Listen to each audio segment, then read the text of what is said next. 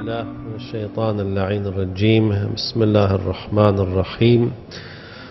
وأفضل الصلاة وأتم السلام على أشرف الأنبياء وسيد المرسلين محمد المصطفى وآله الطيبين الطاهرين.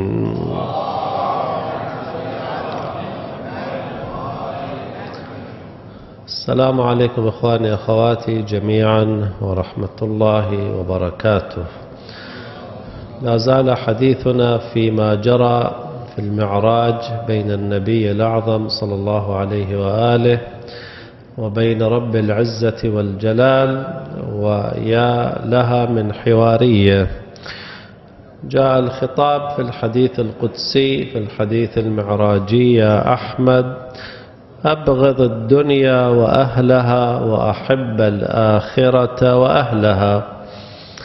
نحن في حياتنا اليومية نعيش مع أقسام من الناس منهم المؤمنون هؤلاء في المساجد وعلى وبين وفي حاشية سريعة. المؤمن الذي يواظب الحضور في المسجد هذا له حرمة خاصة عند الله وعند المؤمنين.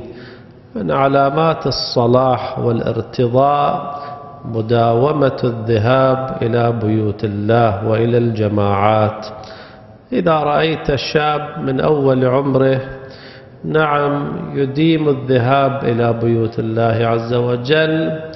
هذا زوجه. نعم هذا ممن يرضى دينه يرضى يرتضى دينه وأمانته.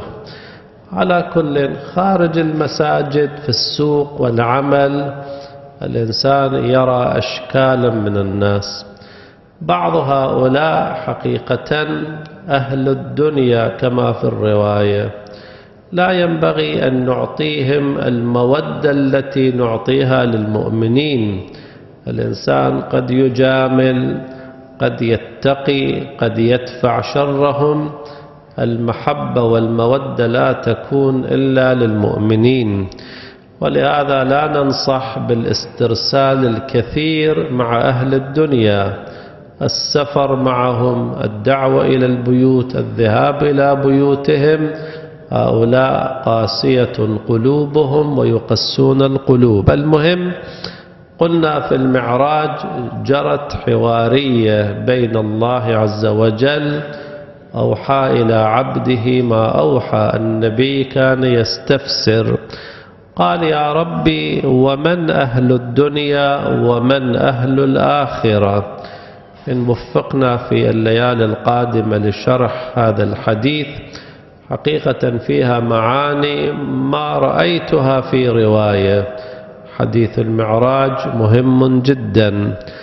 قال رب العالمين في الحديث القدسي أهل الدنيا من كثر أكله وضحكه. أو ضحكه ونومه وغضبه.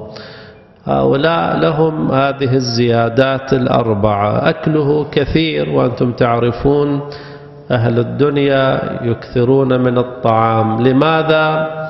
الطعام عند المؤمن للتزود وعند الفاسق للتمتع. هو يريد أن يستمتع بالطعام. يذهب للمنزل عنده كآبة ضيق نفسي وهو ليس بحاجة إلى الطعام يكلف أهله أن يهيئوا له أفضل أنواع الطعام. لا لحاجة. يريد أن يخرج من الجو الذي هو فيه. هذه الأيام معروف إنسان كئيب حزين يقول أو يقال له لنذهب للمطعم الفلاني. وغريب كأن هذا الطعام إذا دخل المعدة النفس ارتاحت. أي علاقة بين الروح والمعدة؟ الآن ممكن ساعة ساعتين يتسلى ولكن يرجع إلى المنزل ليعيش ما هو فيه. إن كان دين دين إن كانت زوجة زوجة إن كانت مشكلة اجتماعية هي هي. تقريبا معظم متاع الدنيا إخواني أخواتي في حكم المخدر لا في حكم المعالج. ألا بذكر الله تطمئن القلوب. علماء البلاغة والبيان قالوا تقديم حقه التأخير يفيد الحصر. بذكر الله تطمئن القلوب غير تطمئن القلوب بذكر الله. هذا المعنى يفيد الانحصار. المهم كثر أكله وضحكه. أيضا ضحك أهل الدنيا من باب التنفيس عما في باطنهم من الضيق. ونومه أيضا طبيعي من, من كثر طعامه كثر شرابه ومن كثر طعامه وشرابه كثر نومه.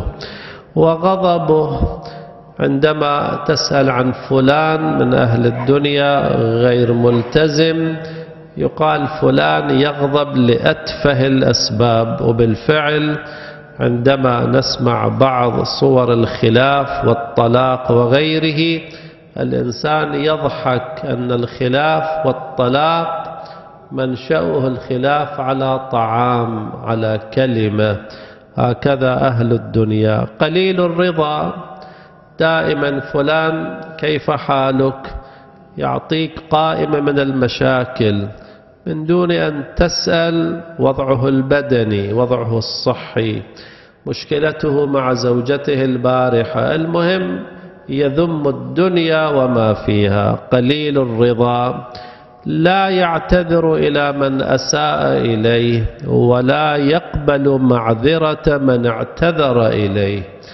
وأنا إذا رأيت إنسان يعتذر من وهو لا يرضى هذا الإنسان في مضان الغضب الإلهي. يأتيه أخوه المؤمن منكس الرأس نادم خجل وهو يشمخ بأنفه. هذا الإنسان كيف يتوب إلى الله؟ يريد أن يرضى عنه رب العالمين وهو لا يرضى عن المسيئين. وهو على رأس المسيئين. كسلان عن الطاعة كسلان عن الطاعة. تقول له اليوم جمعة تهيأ لصلاة الظهر. يقول أنا تعبان لا مزاج لي. يأتيه اتصال من أهل الدنيا نذهب إلى البحر لنصيد السمك. وإذا به يقوم من فراشه كأنه الأسد. هذا الإنسان من أهل الدنيا أبغض أهل الدنيا كسلان عند عن الطاعة شجاع عند المعصية عند المعاصي تراه شجاعا يتحدى القانون والناس أمله بعيد وأجله قريب. هناك عرف أنا لا أعلق فقط أنقل هذا العرف أنا لا أنسجم غيري قد ينسجم. يأتيه مولود صغير يفتح له حساب في البنك وهو رضيع يجعل في حسابه عشرة دنانير شهريا. هذا عندما يصبح في العشرين أو الخامسة عشر لا قيمة لهذا المال لو صرفه في وقته لكان خيرا له. لا أدري هل نحن مأمورون بهكذا حركة. أصرف عليه الآن وفي زمان الزواج رب العالمين يأتيه بالمقدر. أمله بعيد وأجله قريب. طبعا هذا لا ينافي التدبير. الإنسان يدبر ولكن من دون حرص وطول أمل. قليل المنفعة كثير الكلام. يثرثر يعد يقول أنا أعمل كذا. بعض الناس اتفاقا اتفق هذا المعنى يتبجح لي علاقات مع فلان مع فلان مع الوكلاء مع الوزراء. مثلا عندما تكلفه بشغلة بسيطة لا يقدم يقول لا أنا كنت أتكلم هكذا. كلامه كثير ولكن منفعته قليلة. قليل الخوف كثير الفرح عند الطعام. هذه هم تعليقة جميلة الذي يصف رب العالمين. يقول عندما عند الطعام كثير الفرح عندما يدعى إلى مائدة يذهب وكأنه ذاهب إلى الحج للقيمات يأكلها. أهل الدنيا فرحهم بهذه الأمور وأما أهل الآخرة فسنذكرهم إن شاء الله. اللهم اجعلنا من أهل الآخرة. اللهم أيقظنا من نومة الغافلين. اللهم لا تجعلنا من القاسية قلوبهم عن ذكرك. اللهم أبلغ سلامنا وسلام هذا الجمع والمستمعين إلى مقام إمامنا الحجة بن الحسن. روحي وأرواح العالمين له الفدا والفاتحة مع الصلوات.